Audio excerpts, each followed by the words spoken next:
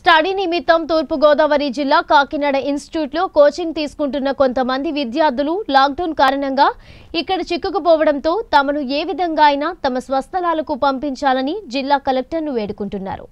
ఇందులో భాగంగానే ప్రస్తుత పరిస్థితుల్లో వారి పడుతున్న ఇబ్బందులను నైన్టీ న్యూస్కు వివరించారు. తూర్పుగోదావరి జిల్లా కాకినాడ కోవిడ్ కంట్రోల్ రూమ్లో మనం ఉన్నాము. మరి మరి మే మూడో తారీఖున యాక్చువల్గా గవర్నమెంట్ ఇచ్చిన ఆదేశాల మేరకు మే మూడో తారీఖున లాక్డౌన్ అయితే ఎత్తివేయడం జరుగుతుంది అనుకుంటున్నాం. కానీ ఎటువంటి నిర్ణయం తీసుకుంటారనేది రేపు ప్రధానమంత్రి గారి ప్రసంగంలో ఆధారపడి ఉంది. మరి అందులో భాగంగా కాకినాడలో ఏదైతే ఉందో శ్యామ్ ఇన్స్టిట్యూట్ ఏదైతే ఉందో ఇక్కడ పోలీస్ అకాడమీకి ట్రైనింగ్ ఇచ్చే ఇన్స్టిట్యూట్ ఏదైతే ఉందో ఈ ఎవరైతే స్టూడెంట్స్ ఉన్నారో వీళ్ళు గత సంవత్సరం జూన్లో జూలైలో ఇక్కడ వచ్చేసి అంటే వాళ్ళు లాంగ్ టర్మ్ కోర్స్ తీసుకోవడానికి కానీ కర్నూలు నుంచి కొంతమంది ఇతర ఇతర ప్రాంతాల నుంచి కూడా ఇక్కడ వచ్చి ఉన్నారు. కానీ ఇక్కడ జరిగిన మేము ఏంటంటే ఒక ఇరవై రోజుల్లో లాక్డౌన్ ఎత్తేస్తారేమో వెళ్ళిపోదాం అనుకున్నారు పాపం. కానీ వాళ్ళు కోచింగ్ అయిపోయింది వాళ్ళకి ఏంటంటే ఫీజు అన్ని కట్టేశారు మొత్తం అంతా క్లీన్ అయిపోయింది. కానీ ఇప్పుడు లాక్డౌన్ ఎత్తిన తర్వాత వీళ్ళకి సరైన ఫెసిలిటీ లేదు ఎక్కడున్నారో కూడా తెలియని పరిస్థితిలో ఉంది. మరి వాళ్ళందరూ ఈ రోజు జిల్లా కలెక్టర్ గారి దగ్గరికి వచ్చి జిల్లా కలెక్టర్ గారికి అర్జీ పెట్టున్నారు. ఏంటంటే మా ఊరు మనం పంపించేసేయండి స్పెషల్ ట్రాన్స్పోర్ట్ మనం పంపించని చెప్పి అడిగే ప్రయత్నం చేస్తున్నారు. మరి మనతో పాటు కొంతమంది విద్యార్థులు ఉన్నారు వీరు.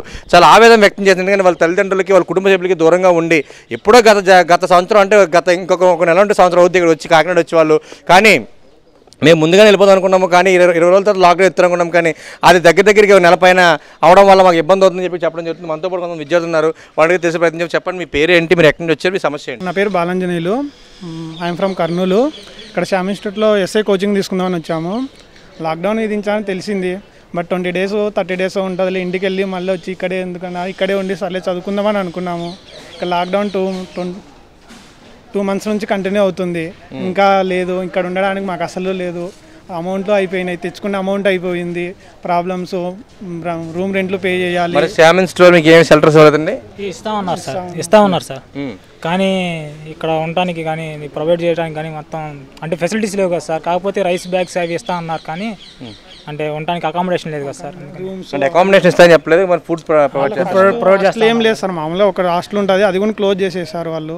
మామూలుగా రూమ్లలో ఉండే వాళ్ళకి ఇబ్బంది అయిపోతుంది ఎక్కువ. రూమ్ రెంట్లు కట్టేయడానికి కానీ ఫుడ్ అసలు ప్రొవైడ్ చేయడానికి ఏం లేదు సార్. శ్యామ్ సార్ గారు ప్రొవైడ్ చేస్తాం సార్. మరి కలెక్టర్ దగ్గర కలెక్టర్ గారు ఇంకా వెళ్ళారు ఇంకా రాలేదు వెళ్ళారు ఒకరు మాతో పాటు వచ్చిన ఒక తను తీసుకొని అర్జీ తీసుకొని వెళ్ళారు. ఇంకా బయటకు బయట రాలేదు. మరి మీకు ఏ రకంగా చేస్తే అంటే మీకు ఏం స్పెషల్ ట్రాన్స్పోర్ట్ పెట్టుకోండి మొత్తం మాకు మొత్తం చెకప్ చేసి ఎటువంటి కరోనా లేదు అనుకొని అందరినీ కన్ఫర్మ్ చేసి మా ఇంట్లోకి మా ఇంటి దగ్గర విధించి ఇంట్లో హోమ్ క్వారంటైన్లో ఒక ట్వంటీ వన్ డేస్ పెట్టేసాలని మేము అనుకుంటున్నాం అని కోరుకుంటున్నాం సార్.